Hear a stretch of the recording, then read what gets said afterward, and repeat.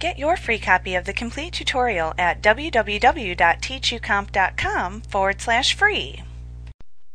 You can adjust the size of your image in your HTML page by using the width and height attributes. You should use extreme caution when resizing your image using HTML coding.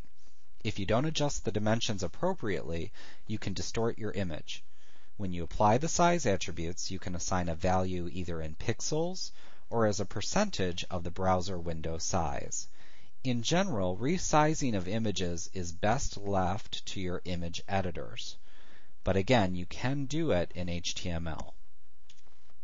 Using the image that we inserted in the previous lesson, let's go ahead and demonstrate how to do that.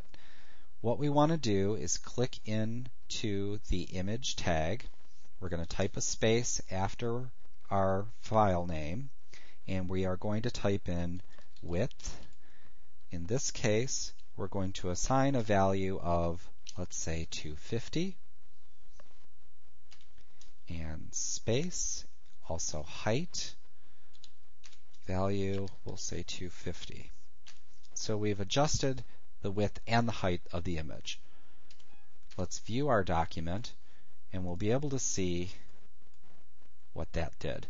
Now see it did adjust it to the dimensions that we specified, but you'll see by resizing it in HTML, it's distorted the image a little bit and we've lost some clarity and some resolution on it. So that's why you should be very careful when resizing images using HTML.